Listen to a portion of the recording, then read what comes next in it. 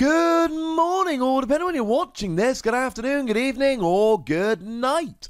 My name's Ross, and as always told, out of Voice of Radio. So today, we need to carry on our look at the complete history of the Pokemon trading card game, and we have reached all the way to Unseen Forces. Now, Unseen Forces was a very weird set, because looking down the set list, I am seeing nothing but Gen 2 Pokemon, even though, as we've seen from previous sets, this was very much released in the Gen 3 era. But We've got Umbreon, we've got Porygon 2, we've got all of the good stuff we're going to see in the rest of this video. What I will say is, where's my Donphan? Like, I'm cool if you're going to give me a Gen 2 theme set. Let's do this. But don't give me a Gen 2 theme set and then admit to put a Donphan in there. And okay, when Pokemon were making these cards, maybe they weren't thinking, look, 15 years in the future, some angry Cornish boy is going to be ranting about the fact that we didn't put a Donphan in there. But he is, ladies and gentlemen. He is. Hey ho. Still a very fun set, mind you, so I'll probably forgive it and get over it in time. Now, this was released in Japan on April the 8th, 2005, and was then released in English, that is, US, Europe, etc., on August the 22nd, 2005. So we're talking a 15 year old set at this stage. Now, what was very cool about this, and we don't see this very often, but the logo actually meant something. We see it occasionally, but if you look at the logo of Unseen Forces, you will see that it is literally Lugia's wing and Ho-Oh's wing just crossed over each other. Which is very, very cool. Oh, speaking of which, spam the like button on this one, would you please? Let's, um, I get lots of good feedback about these videos, but the views aren't amazing. Let's fix that, ladies and gentlemen. Let's fix it. Now, one thing that is also very, very cool is that they finally, finally completed the Unown. You see, back in the Neo sets, we got a bunch of Unown cards, but we never got Unown R. Now, Unown R did exist, but Unown R was a promo card that came out in Japan, and it never received a print outside of Japan. We never got it, ladies and gentlemen. Well, the good news is we finally did get Unown R in this set. But it wasn't just Unown R. We actually got all 28 Unown. 26 plus question mark plus exclamation mark, hence 28 Unown and they were their own little subset and they even had their own numbering something out of 28 although they were numbered r out of 28 and question mark out of 28 which is very strange but hey ho that's the way they did it and according to the lovely folks over at bulbapedia a very good website i use for research the reverse hollow slot in every fifth pack was replaced by one of the Unown. What that means is if you're trying to complete a set of unseen forces, Trying to collect all 28 of those Unown will make it significantly more difficult. It is about the same size we would be expecting, plus 28 Unown. So we end up at 145, which is a very big set for the time. And we're talking one in five packs, and then there's 28 to collect. It's it's a little bit of a mission, ladies and gentlemen. But if you're a proper collector, I'm sure you will be fine. Now, it was also the final set to feature Owner's Pokemon EX. So, for instance, I mean, really, we only had the one in this particular set. We had the secret rare Rockets Persian EX. After that, they were their own Pokemon. And while we're here, we should probably mention that that was also the box topper for the set. So if you bought yourself a box of Unseen Forces, you'd get Rocket's Persian EX. Of course, that's a little bit weird because it means that even though it's a secret rare and is available in the set as a secret rare, every single box has one, plus the ones that come as a secret rare, which kind of hurts the rarity of it. There was another secret rare, incidentally, there was a secret rare Celebi EX, which was, of course, then significantly rarer. And we did see the return of Pokemon stars in this set. There weren't any in EX Emerald, although, as explained in the previous set, that is because we basically made up that set. to have something that coincided with the video game, which I still find very amusing. So, Pokemon Stars were back, and we saw ourselves just the legendary Beast Trio Entei Star, Raikou Star, and Suicune Star. Yeah, people went a little bit crazy for the Pokemon Stars. They were very sought after cards, though the three of those specifically saw very little play.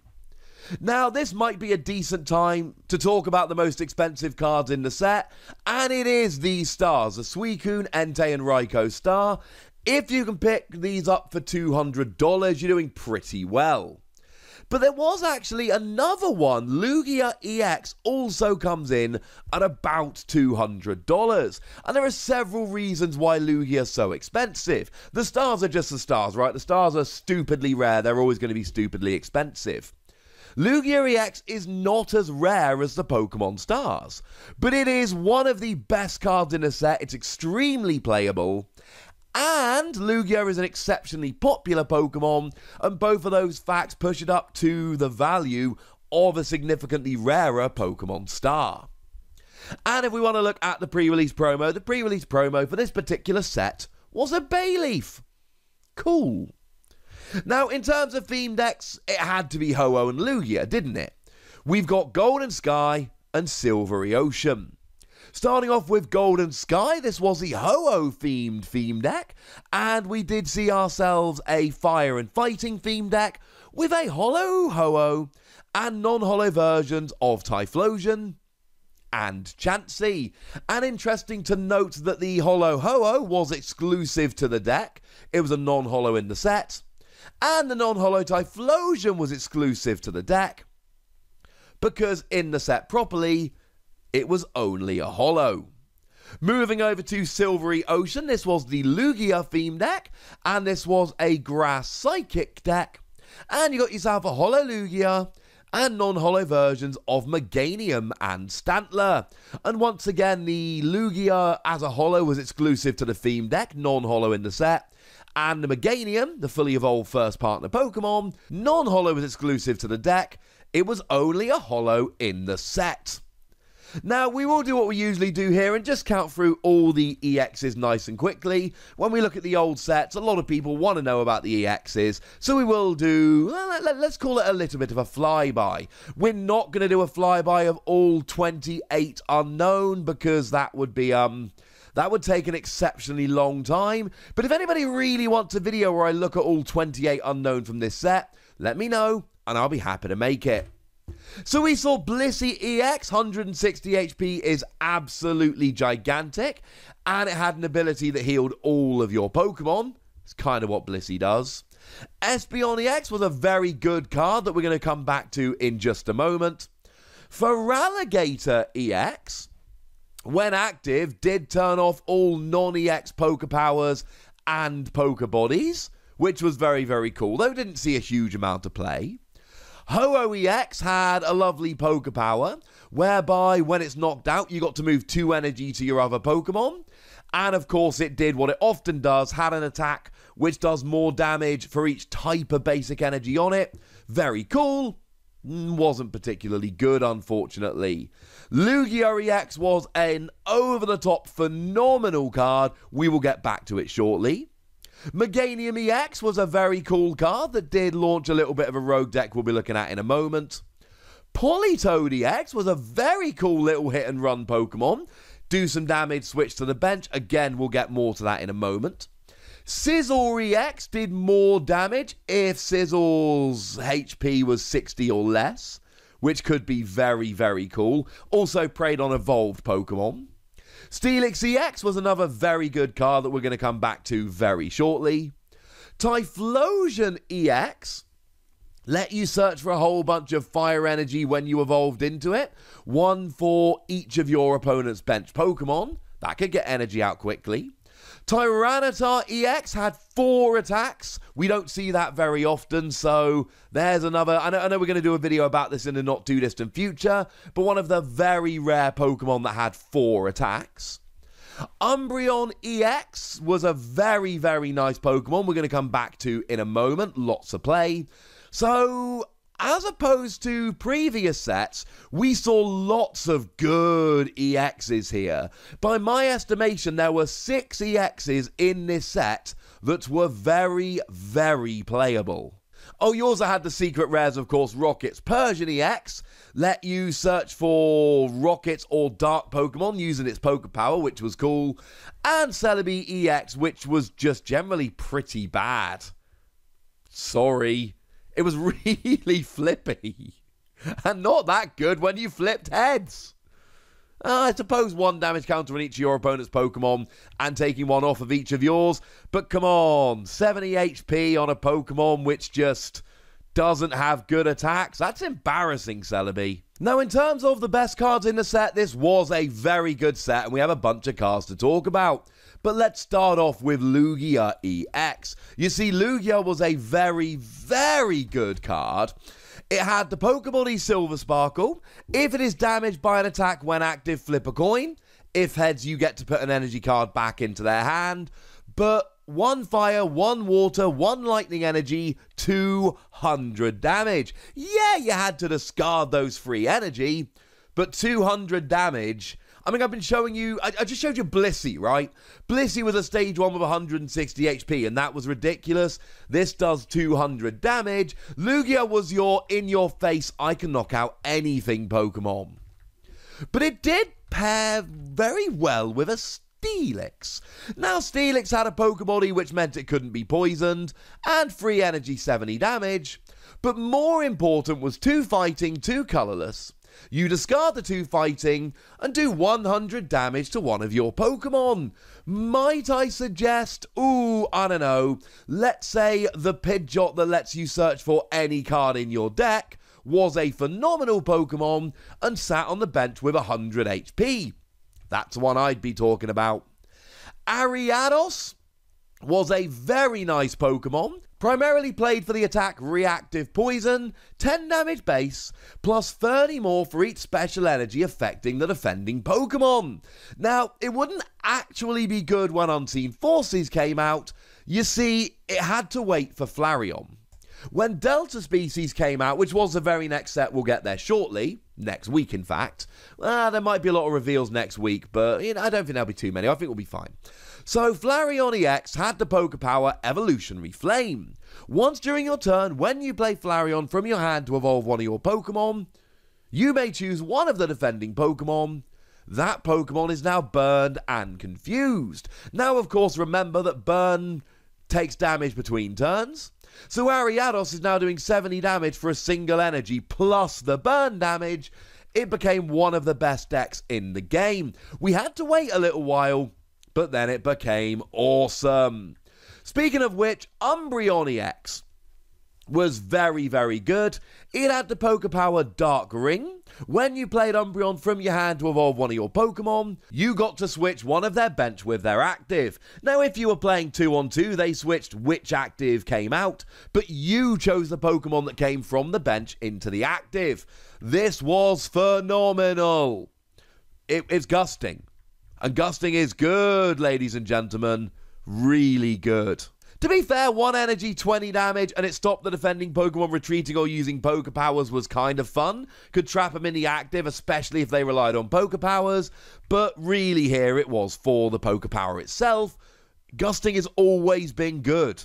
And if we're talking Umbreon EX, it would be a little bit rude not to talk Espeon EX. When you play this from your hand to evolve one of your Pokemon, yeah, they all have these kind of abilities, you may choose one evolved Pokemon on your opponent's bench and return the highest stage evolution back to their hand. So if they've got enough damage on to KO the stage 1 but not the stage 2, put the stage 2 in their hand, they go down.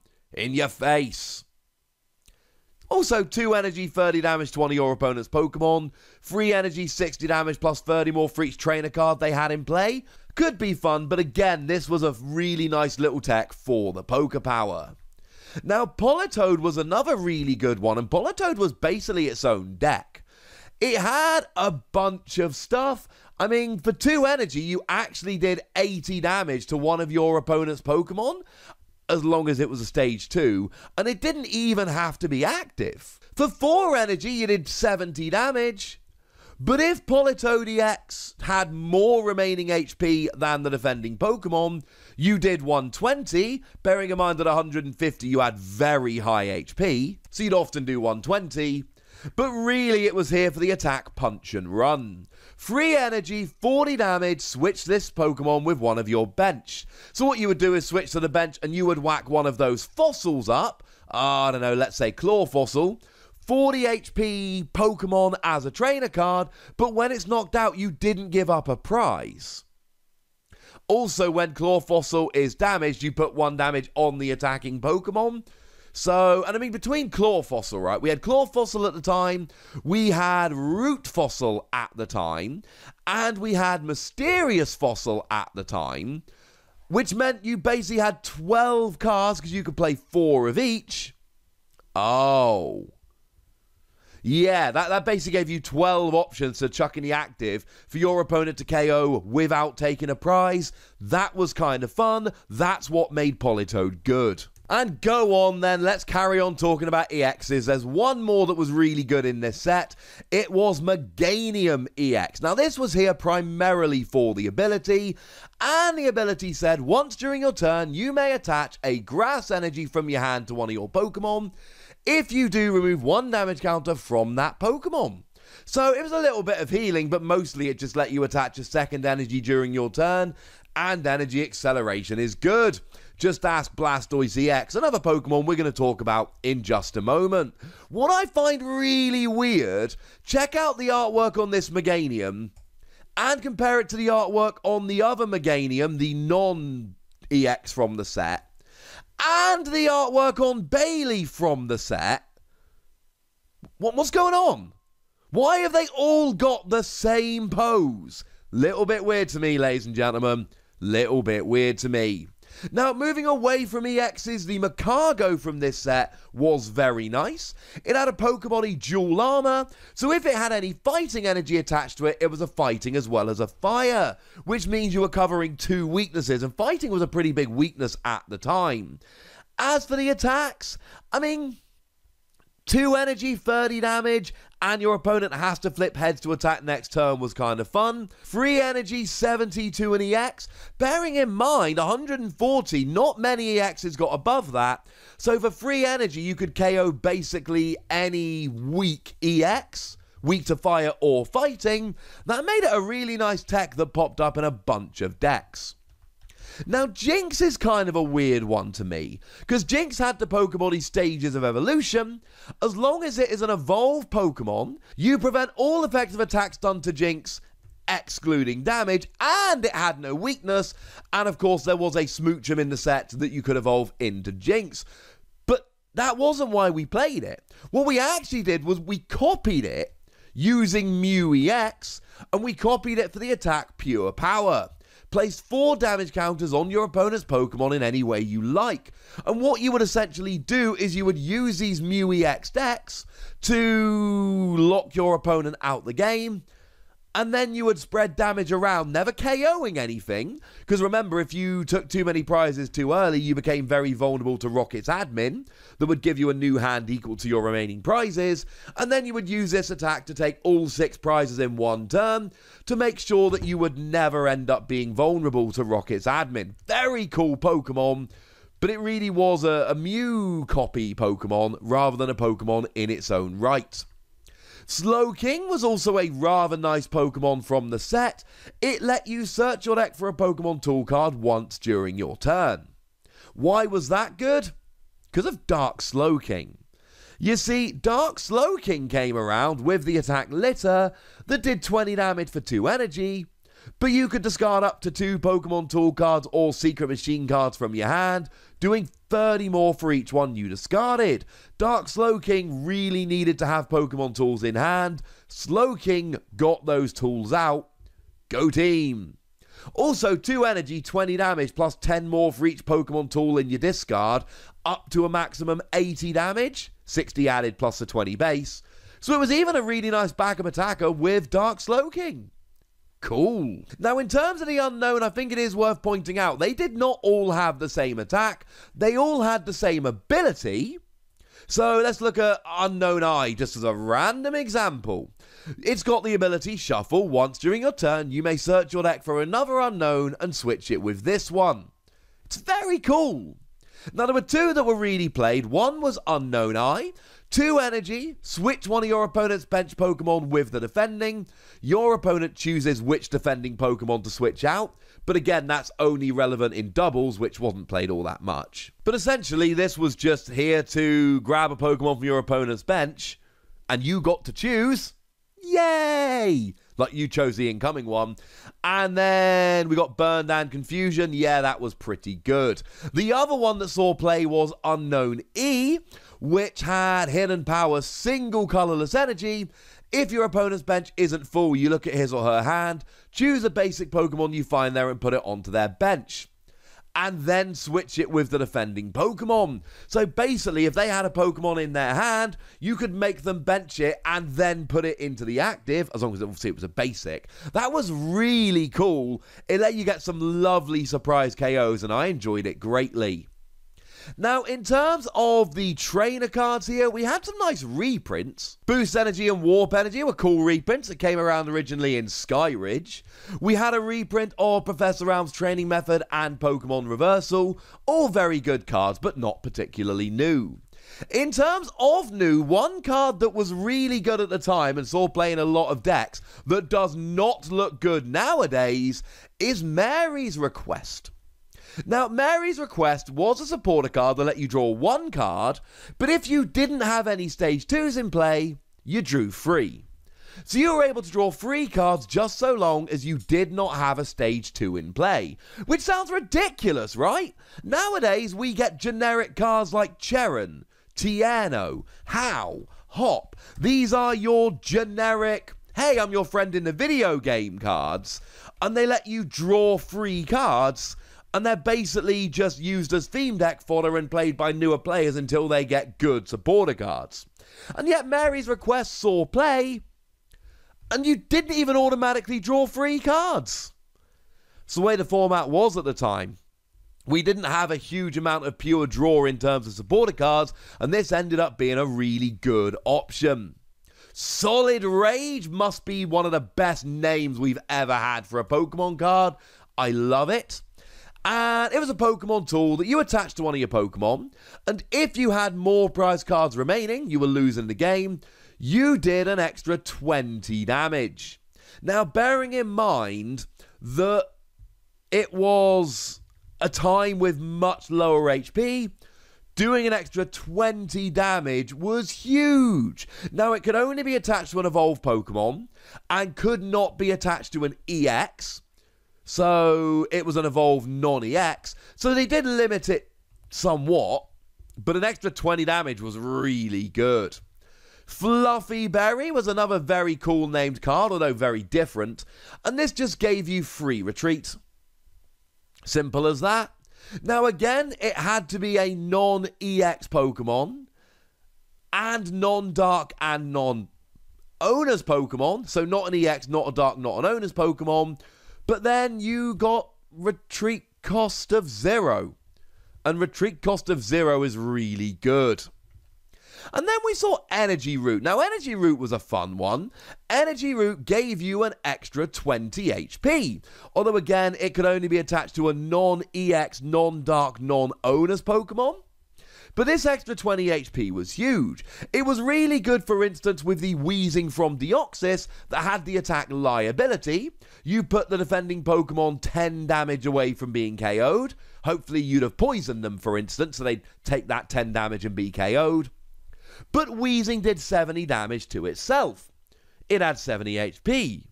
It would KO itself, but no! Energy Root would save it. Go Energy Root. Now, I'll be honest with you, in terms of decks, we kind of have mentioned a lot of them, but we need to mention LBS. We didn't have necessarily the engine that LBS would use, but we did have the free constituent Pokemon at this stage.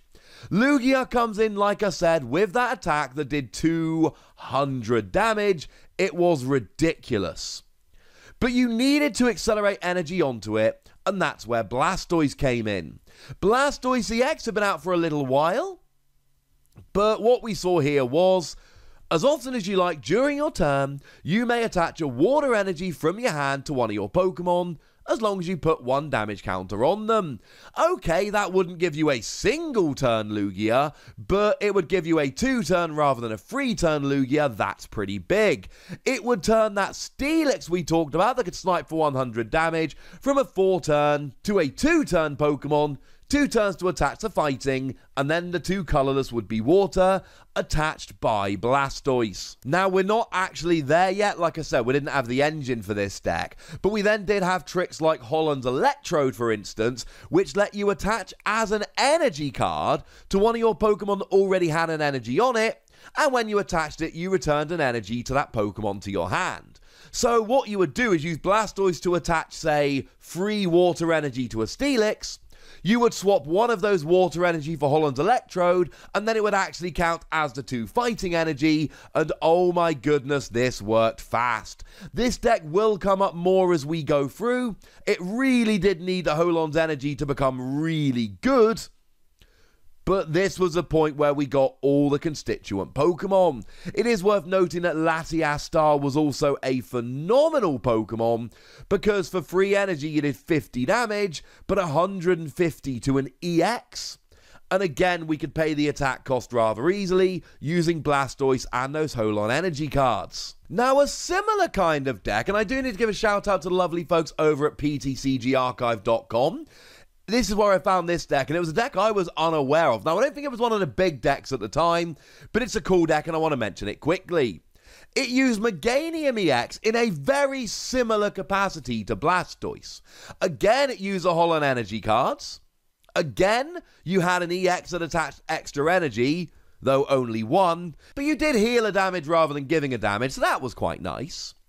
And then you would use a bunch of attackers. Steelix generally saw play. The cool thing is that this deck generally went for Latios rather than Latias, because of the whole grass energy rather than water energy.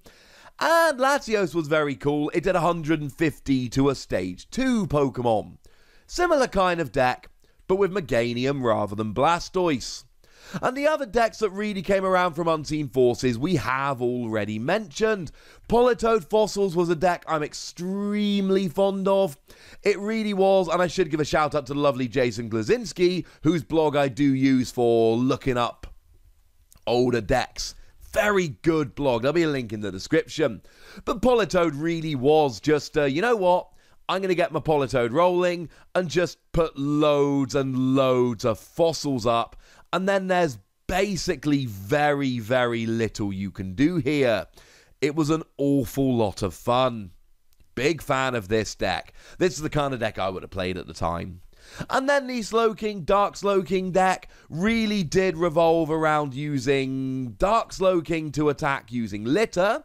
Don't sleep on the Poke Power that once during your turn let you look at the top card of your opponent's deck and then make them shuffle if you want try and ruin their top deck, i.e., if they're going to top deck something good, you make them shuffle. If not, you don't.